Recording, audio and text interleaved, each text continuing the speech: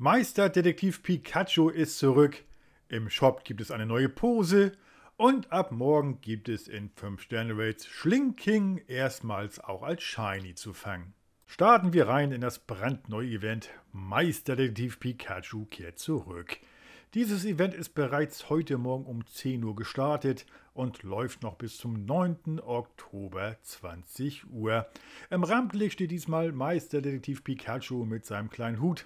Er hat auch eine Lupe dabei und lässt sich in Raichu weiterentwickeln. Dazu kommt noch sein treuer Kollege Phlegmon.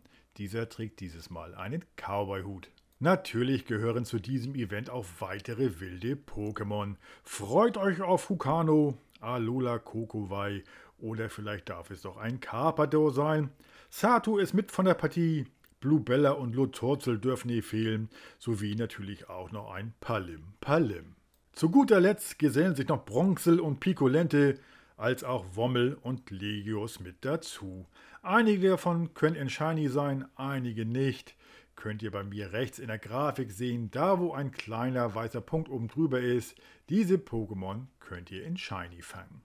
Es gibt eine befristete Forschung, für die ihr vier Tage Zeit habt. Hier müsst ihr fünf Aufgaben lösen und hinter jeder Belohnung könnt ihr ein Meisterdetektiv Pikachu erhalten. Ebenfalls in Shiny möglich. Ich hatte hier leider kein Glück, aber ich will da mal nicht meckern.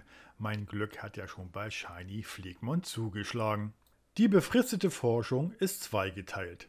Habt ihr alle Aufgaben gelöst, wird sich Professor Willow bei euch melden und euch, sagen wir mal, ein kleines Detektivrätsel aufgeben.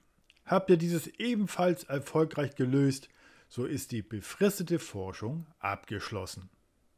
Obendrauf gibt es noch eine Sammlerherausforderung. Hier müsst ihr Serpifeu, Bautz und Mogelbaum über eine Feldforschung fangen. Die Eventboni sind dieses Mal ein bisschen geizig gehalten. Ganze zwei Stück gibt es nur. Zu einem ist es doppelter EP bei Drehen von Pokestops und zum anderen ist es eine Schnappschussbegegnung einmal am Tag mit Meisterdetektiv Pikachu. Zu guter Letzt gibt es im Shop noch eine neue Avatar-Pose im Meisterdetektiv Pikachu-Style. Also, wer immer schon mal als Meisterdetektiv Pikachu ein bisschen rumlaufen wollte, hier könnt ihr ihm jetzt nacheifern. Mein persönliches Highlight startet morgen am 6. Oktober.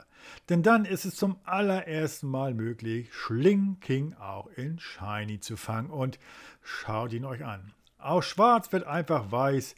Er sieht sowas von Knuffe aus, also ohne ihn bis jetzt gesehen zu haben, sicherlich schon eines meiner Lieblings-Shinies.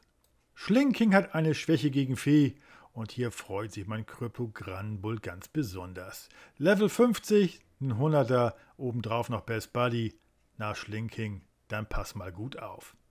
Ob meine Shiny-Jagd erfolgreich war, erfahrt ihr selbstverständlich in den nächsten Videos. Bis dann! Tschüss und ciao, euer Schurtalk. Bye bye.